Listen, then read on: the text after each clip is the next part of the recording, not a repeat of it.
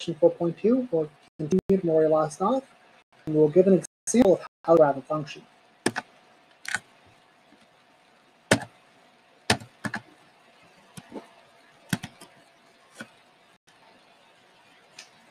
First exa example will be about graphing a polynomial function. And here's how it's done. So here's a polynomial. y is x cubed plus 9 halves x squared plus 6x plus 10. Remember, the domain of this function, as with all polynomials, is minus infinity to positive infinity, or all real numbers. You ever wondered, without a graphing facility, graphing calculator, or computer, how do you graph y is equal to f of x and get this graph below? How does the graphing calculator, how does the computer graph this function? Well, the computer relies on pixels, but it's possible to graph this function using the tools from calculus. We will do that in the following steps. So recall from previous lecture how to graph a polynomial. There's two steps. First two steps are first to differentiate the function. The derivative of f is f prime of x, which is 3x squared plus 9x plus 6. As factors, you can factor to 3 from each term. 3, 9, x. All are divisible by 3. When you factor out 3, you get 3. x squared plus 3 plus 2. x squared plus 3x plus 2 factors into x plus 1 has x plus 2.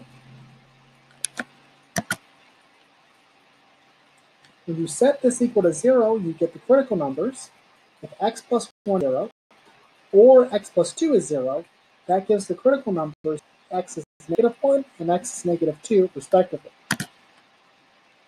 The second step is to use these critical numbers to divide the number line into, in this case, the domain f, the interval from minus infinity to positive into three subintervals. Negative infinity, negative 2, negative 2 to negative 1, negative 1 to infinity. So this number line, we have these two numbers. That's 2, that's negative 1. As you can see, we have three subintervals.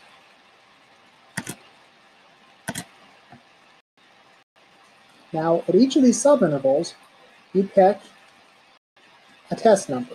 In this case, x is negative 2. So the chart with this look like is the following.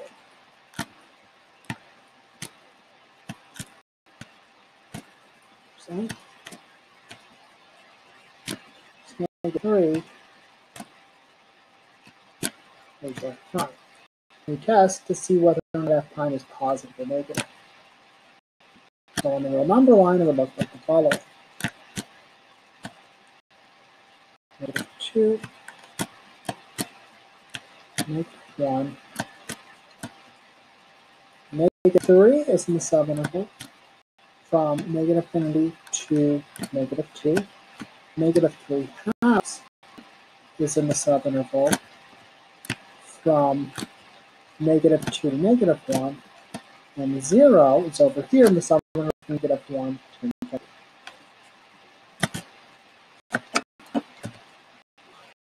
When you plug in each of these three numbers into f prime, you get 6 for f prime of negative 3. You get negative 3 fourths, which is negative, for f prime of negative 3 halves. And you get 6 for f prime of 0. What does this mean?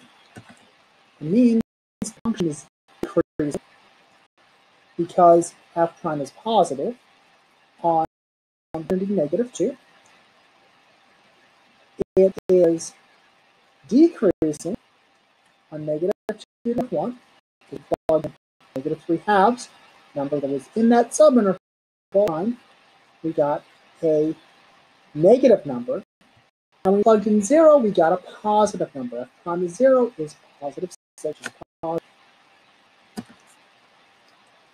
Next example, graph a function. There's two more steps to graphing a function. These are steps three for in the previous lecture slide.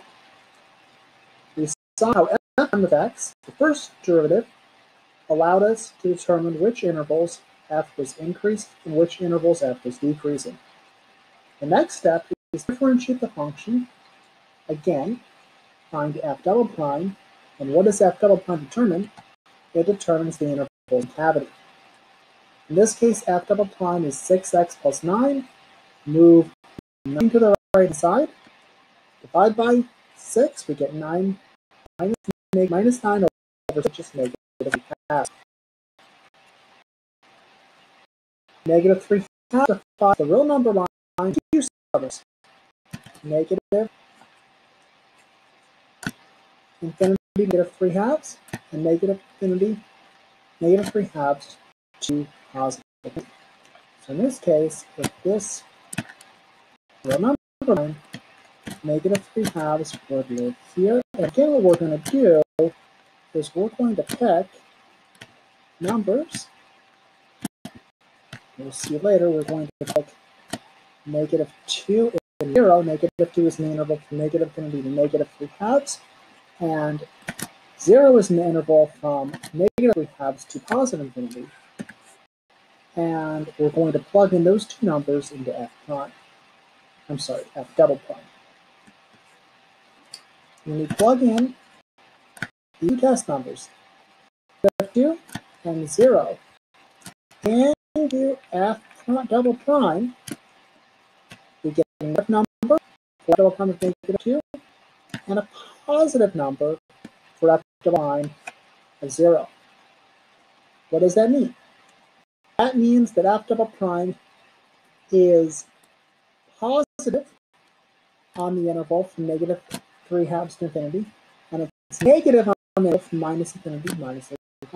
So sometimes if you do a number line, what you would try is this. Recall that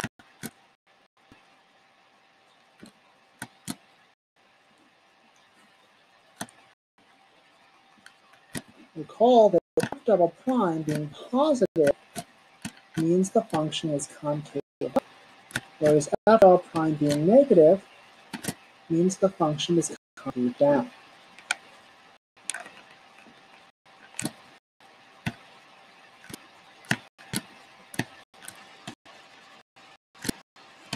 So just click that. So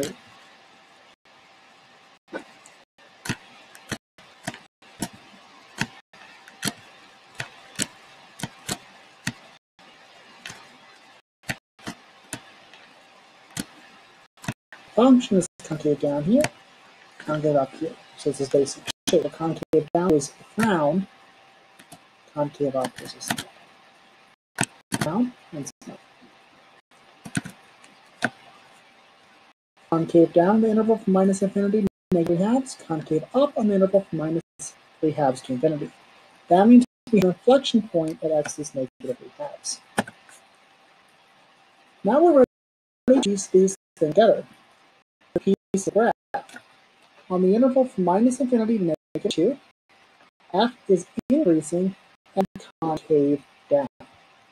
That means, right, if we drew this, it would look like this. This is increasing concave down. Left half round.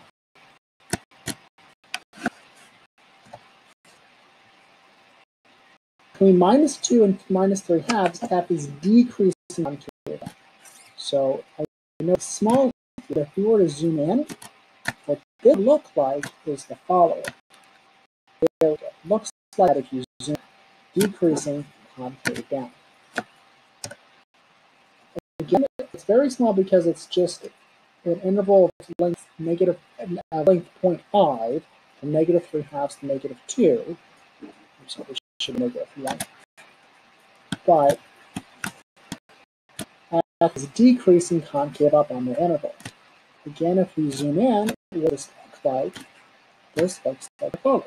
That's decreasing concave up. It's the half of a, of a.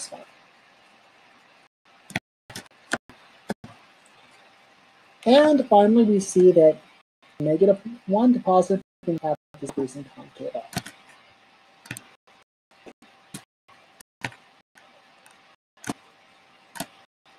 This is the right half of the schema. Or the right half of the We can buy these out. So you can see we have this piece, we add this piece, this piece, this piece. What do we get? This whole right? Goes from decreasing concave down to decreasing concave up to increasing concave up. There you have it. There's your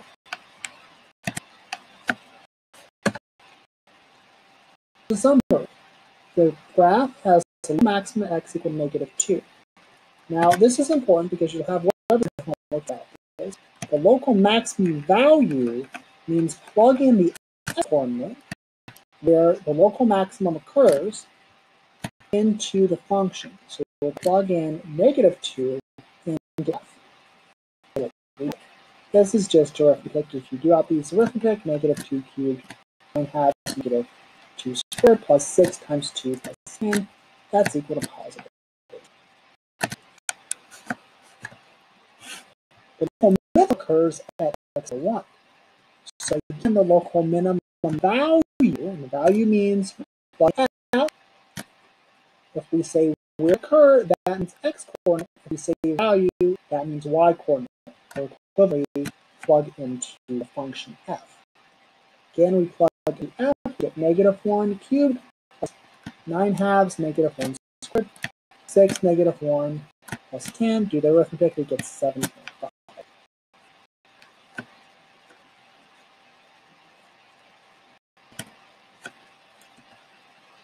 X coordinate of the inflection point is negative half, which is negative 1.5. We saw it in the previous slides. The y coordinate means log in. So the y coordinate, this means evaluate half the function, negative 1.5. And of course, we do that this is where we get this whole.